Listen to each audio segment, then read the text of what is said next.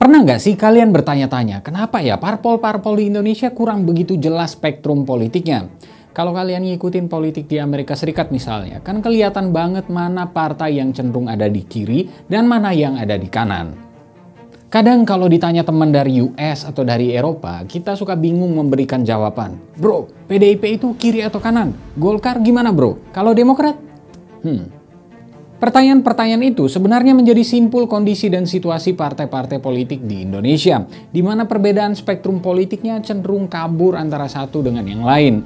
Ini terkecuali kalau kita bicara soal nasionalis versus agama ya. Selain itu, rata-rata parpol kita cenderung punya spektrum politik yang mirip-mirip. Tentu pertanyaannya adalah kenapa demikian ya? Lalu sebenarnya apa spektrum politik partai-partai macam Golkar, PDIP, Demokrat, PKS, dan yang lainnya? Well, get your coffee and let's get it started.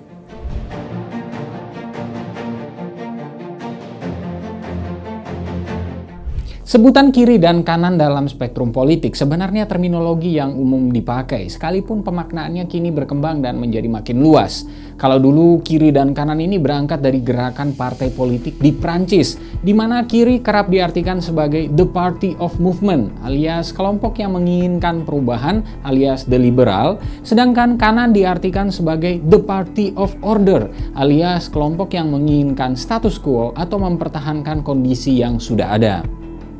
Ilmuwan politik Klaus van Bijmel kemudian membuat semacam garis political spectrum menggunakan sumbu X. Ini kasusnya untuk politik di Eropa ya. Urutannya dari kiri ke kanan adalah komunis, sosialis, gerakan hijau atau green, liberal, demokratik Kristen atau agama, konservatif, dan ekstrim sayap kanan. Kebanyakan parpol di negara-negara demokrasi kemudian bisa dilihat spektrum politiknya dari ciri-ciri gerakannya dan ideologinya tentunya. Namun di waktu-waktu terakhir ini banyak partai yang juga sudah mengadopsi pendekatan politik yang cenderung pragmatis. Akibatnya, pada isu tertentu parpol bisa menjadi cenderung ke kiri, namun di isu lain parpol bisa juga menjadi ke kanan. I mean, Tiongkok sebagai negara menerapkan dua model pendekatan politik dari kutub yang berseberangan, masih menganut komunis sentralistik, tetapi secara ekonomi jelas-jelas kapitalis. Nah, di Indonesia sendiri konteks pragmatisme itu cukup terasa loh. Kebanyakan parpol kita itu cenderung ada di tengah, nyerempet dikit-dikit ke kanan lah. Hal ini bisa kita lihat dari hasil studi Diogo Fossati, Edward Aspinal, Burhanuddin Mutadi, dan Yves Warburton. Jika kiri kita definisikan sebagai liberal, progresif, dan kanan konservatif, maka di grafik ini kita melihat bahwa parpol-parpol kita ada di tengah dan cenderung ke kanan. PKS mungkin jadi yang paling kanan, sementara partai-partai nasionalis lain cenderung ada di tengah. Ini sebenarnya sesuai dengan karakteristik parpol di Indonesia yang belakangan cenderung menjadi catch-all party alias menangkap semua spektrum politik.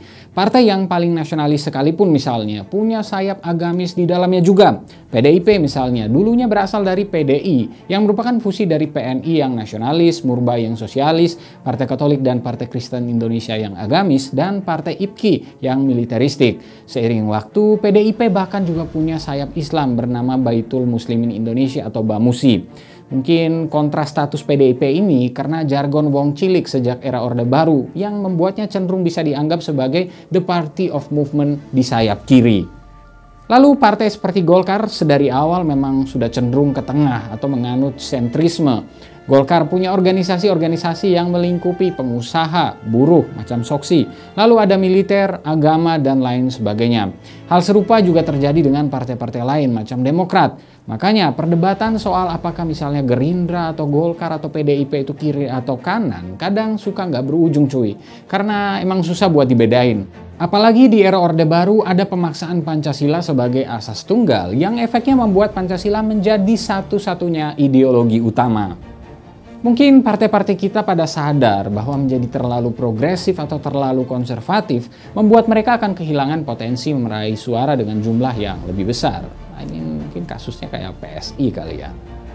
Jadi sampai kapan pun memang bakal susah buat dibedain sih. Hmm. Kalau menurut kalian gimana? Apa alasan parpol-parpol kita punya spektrum politik yang nggak jelas? Berikan pendapatmu.